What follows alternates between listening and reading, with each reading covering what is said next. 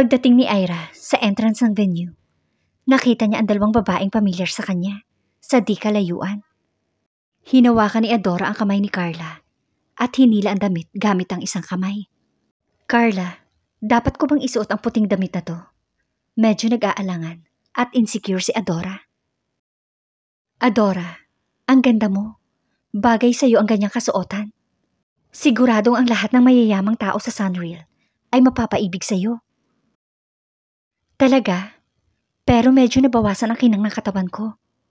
Pwede mo ba akong samahan sa mesotherapy sa susunod na araw? Naglakad ang dalawa papunta sa entrance ng venue habang nag-uusap. Ngunit pinigilan sila ng Asher nang ipakita nila ang dala nilang imbitasyon. Sorry po ma'am, hindi kayo makakapasok. Anong sabi mo? Nakasimangot na sabi ni Adora. Ang imbitasyong dala nyo ay para kay Axel Cleofe, ang presidente ng Hay Group. Siya lang ang pinahihintulutan na dumalo sa piging na ito. Pasensya na, ang imbitasyong ito ay para lamang sa kanya, hindi sa kapamilya niya. Dumilim ang mukha ni Adora. Sino ka sa tingin mo? Nasa akin ang imbitasyon. Sino ang nagsabi sa'yo na bawal akong dumalo sa piging na ito? Mataray na sabi ni Adora. Maaari lamang kayong pumasok kung kasama niyo si Mr. Cleofe.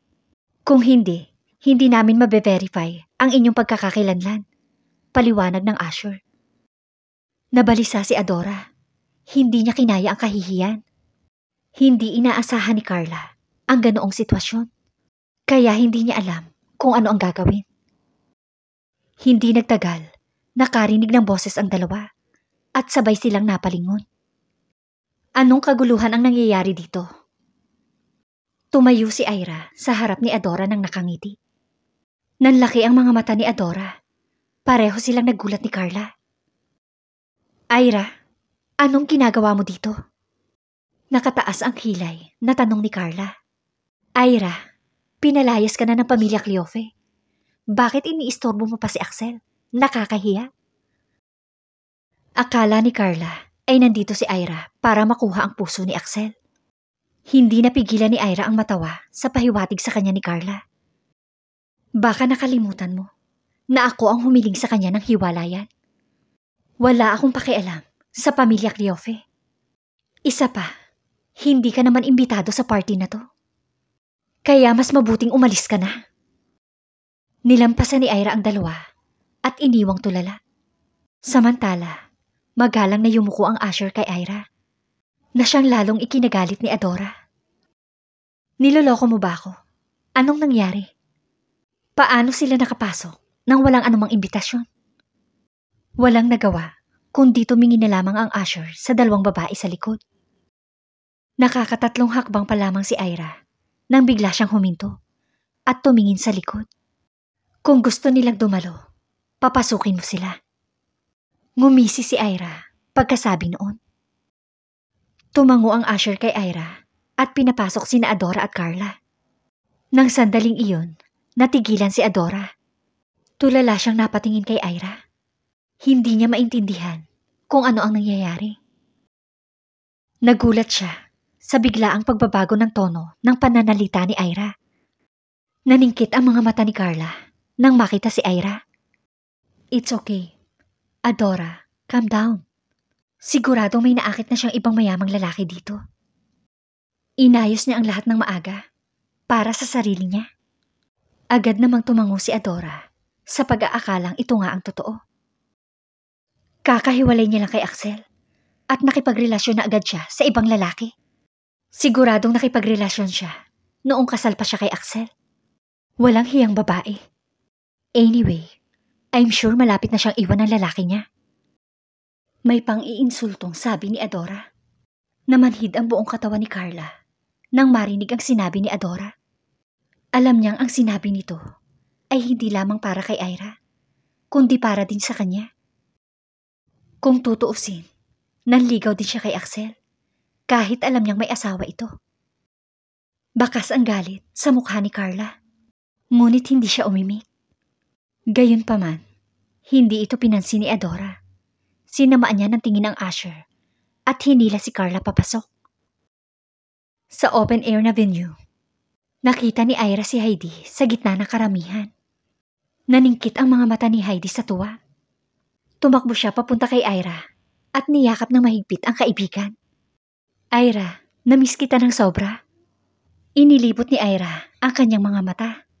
Sanay na siya sa kanyang matalik na kaibigan na pinalalaki ang lahat. Maaaring isipin ng mga tao na ilang taong hindi nagkita ang dalawa. Ano ka ba? Para namang hindi tayo nagkita last week. Sabi ni Ira sa kaibigan. Oh, ikaw ay malungkot at masungit na babae noong nakaraang linggo. Pero tingnan mo ngayon.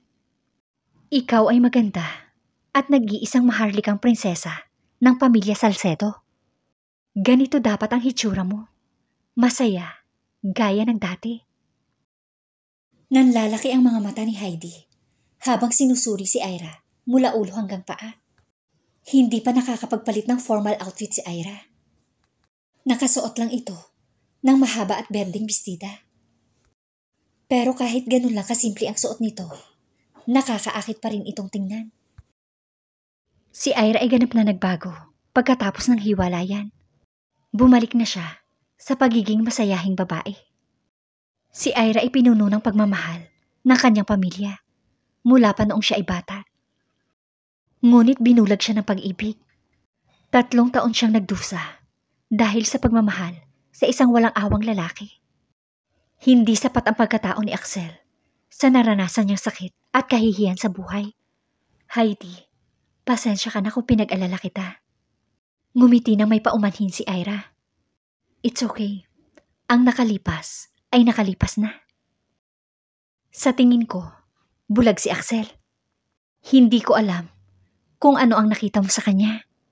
Ibinigay mo ang lahat at pinakasalan siya. Ito ay isang karangalan para sa pamilya Cleofe.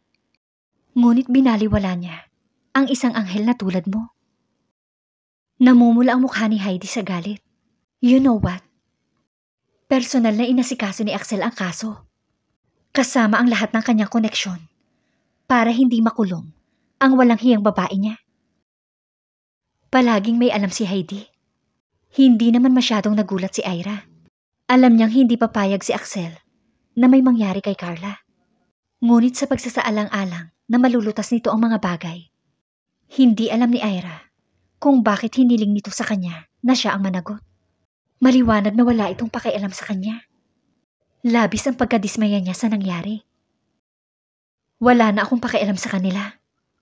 The last time we met, you were still hopelessly in love with Axel. Anong nangyari? Bakit naisipan mong hiwalayan siya? Bagamat parang walang pakialam si Heidi, palagi pa rin siyang nag-iingat na hindi masaktan ang damdamin ni Ira. Umiling si Ira at hindi na nagsalita pa. Hindi niya sinabi kahit kanino ang tungkol sa pagbubuntis ni Carla.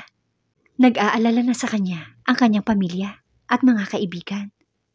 Ayaw niyang makadagdag pa sa paghihirap nila.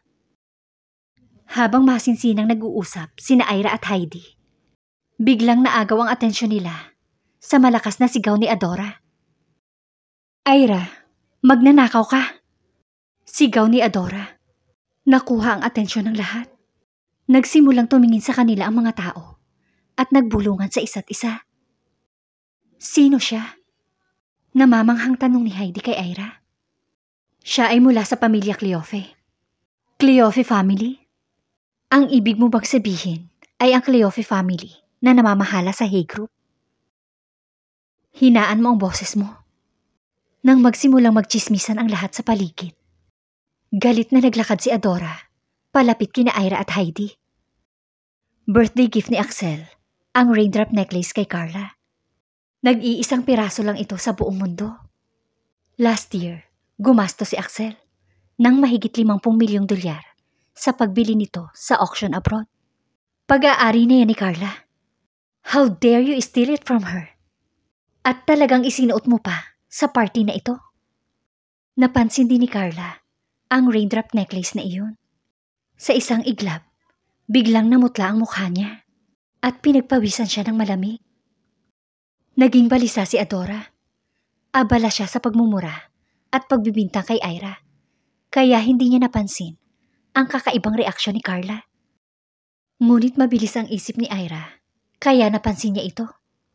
Alam niyang kakaiba ang kwintas at hindi lahat ay kayang bilhin iyon. Noon, ang pagkakakilanlan ng misteryosong buyer ay naging usap-usapan sa bayan. Sinubukan ng media na malaman ang tungkol dito. Ngunit sa bandang huli ay walang nakaalam nito. Nang ibigay sa kanya ng kanyang kapatid ang kwintas, inakala niyang ito ang bumili noon. Pero matapos niyang marinig ang mga sinabi ni Adora, napagtanto niyang si Axel ang bumili noon. Pero hindi na iwasan ni Ira na magtaka kung paano nakuha ng kanyang kapatid ang kwintas. Kung iniregalo ito ni Axel kay Carla. Hindi mabilang na isipin ang sumagi sa isip ni Ira. Sinubukan niyang alamin kung ano ang nangyari. Nang makita niya ang maputlang mukha ni Carla, ay agad niyang naunawaan ang katotohanan. Dahil sa pananahimik ni Ira, naisip ni Adora na totoo ang paratang niya kay Ira. Noon lang humakbang si Heidi para protektahan ang kaibigan. Enough. Huwag kang magparatang ng ganyan sa kaibigan ko. Walang pakialam si Ira sa presyo ng kwintas. Sa kanya ang raindrop necklace. Nagkagulo ang mga panauhin nang marinig iyon. Ang pamilya Salcedo ay nag-imbita lamang ng mga kilalang tao at mga kagalang-galang na personalidad sa party.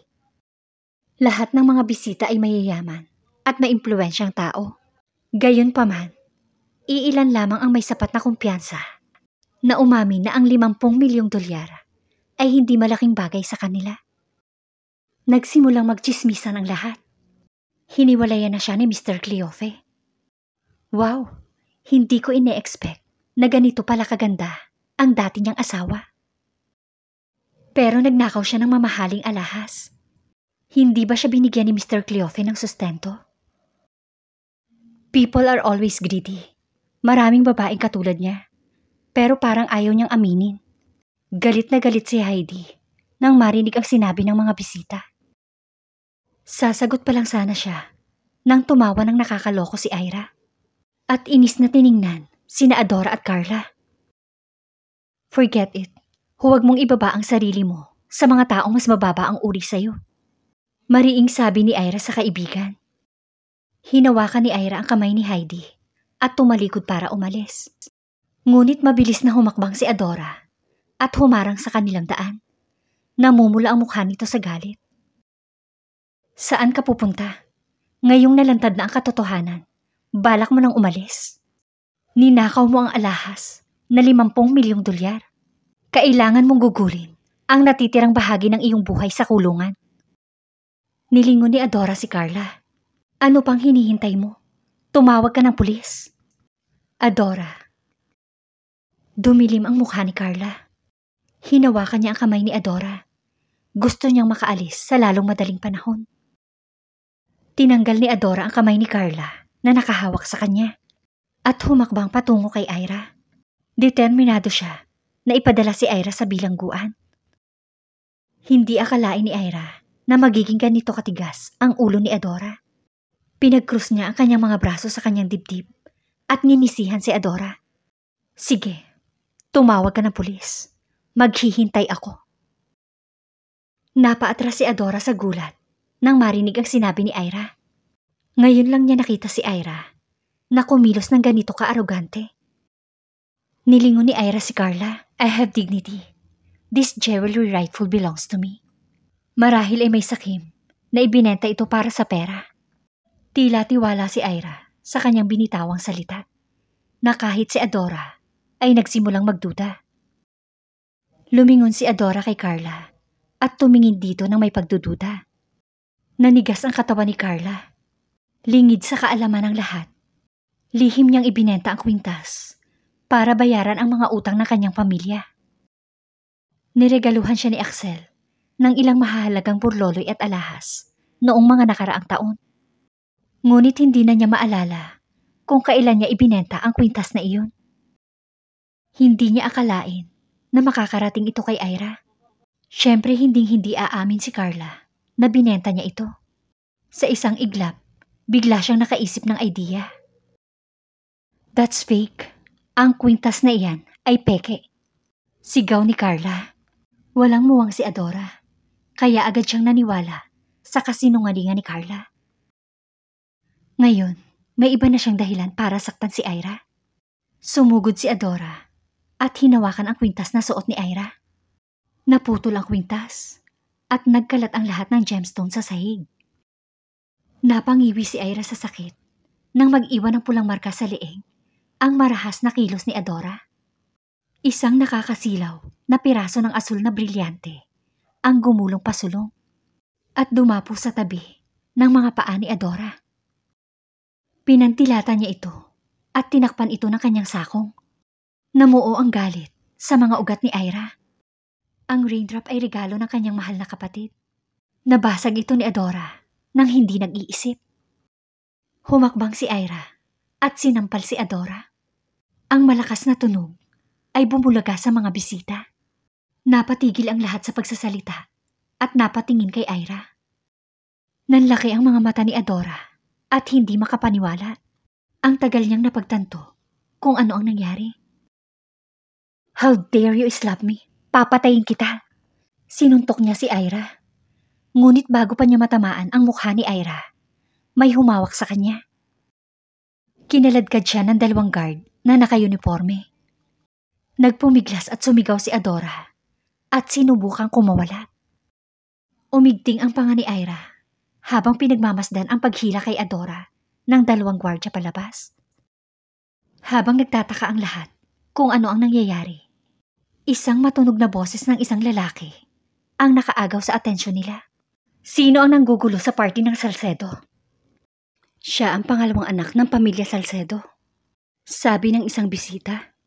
Halos sabay-sabay na napalingon ang lahat kay Erwan. Nakasuot si Erwan ng puting suit. Maamo at elegante siyang tingnan. Pinagmasdan ni Erwan ang mga tao at naglakad ng may marilag na hakbang. Napabuntong hininga ang lahat. Alam ng lahat ng bisitang naroroon na mahalagang miyembro ng pamilya Salcedo si Erwan. Sa larangan ng negosyo, isa siya sa pinakamatagumpay na negosyante sa kanyang henerasyon. Napatingin ang mga bisita kay Ira at Adora. Isang prestihiyosong okasyon ang party ng pamilya Cleofe. Ang mga nanggugulo ay haharap sa matinding kahihinatnan. Nang makita si Erwan, tinuro ni Adora si Ira at sinigawan. Mr. Salcedo, Itong babaeng ito ay nagsuot ng peking kwintas para magpakitang gila sa lahat pagkatapos hiwalayan ang kapatid ko. Walang hiyang babae. Inilantad ko lang naman ang mga kasinungalingan niya at agad niya akong sinampal sa harap ng lahat. Ang dalawang pamilya ay magkasosyo sa negosyo. Kaya kilala ni Adora ang ilang miyembro ng pamilya Salcedo. At dahil doon, inakala niyang papanigan siya ni Erwan. Lumapit si Erwan kay Ira at kumaway sa mga bodyguards. Sumenya siya na pakawalan si Adora. Ngumisi si Adora kay Ira sa pag-aakalang kinakampihan siya ni Erwan. Peking kwintas.